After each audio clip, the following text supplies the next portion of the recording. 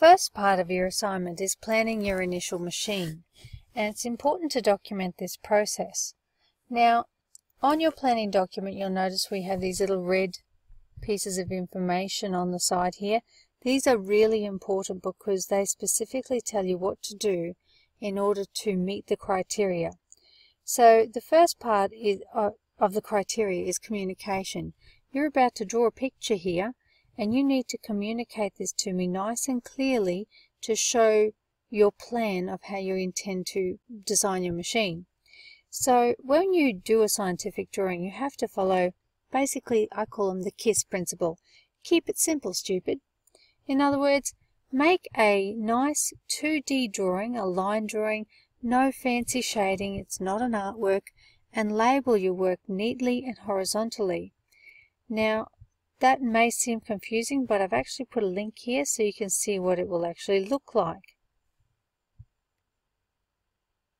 Now this is the image you're going to be presented with, and it looks a little confusing. I will explain to you how to do each part of this image later on, but what I need you to do for now is this. I simply need a basic picture of how you intend to set up your machine in order to move your car. And this is important because until you draw a picture, it's really hard to order the equipment that you think you'll need to set up your machine. Now this picture may change before you insert it into your planning document because as you then build your machine, you'll find that certain things may not work or you might need to move things around a bit. That's okay.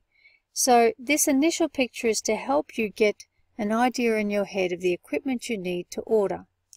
Once you've done that picture and put your group's name on it, very important, just like that, then I really want you to go back to your planning document, just one in your group, and order your equipment. And we do this by clicking this link here, complete the Google order form. This link here, click that link and it will come up with this page. Here is a picture of some of the equipment that you have available, but realize this isn't the be-all and end-all. You can actually order other equipment or bring stuff from home in order to build your machine. But as you can see, we've got quite a few things here. So all you need to do is go through this form and complete it.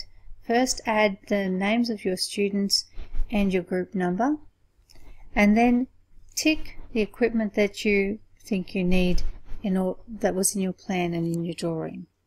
If there's something that's not listed there, then put it under other items and click submit.